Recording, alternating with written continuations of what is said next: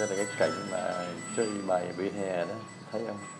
Một nhóm người tụ dơ chia bài dưới vỉa hè. Ở Việt Nam là như vậy. Đó. Họ chia bài với nhau họ tự xử với nhau.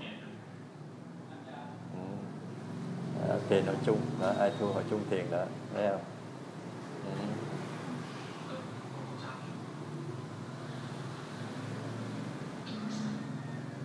mọi người ngồi là sóc bài đó đó mến bài là cái bình dập xám quá.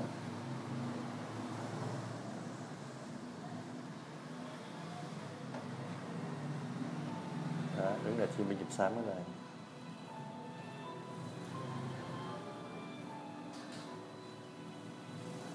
Thì bốn tổ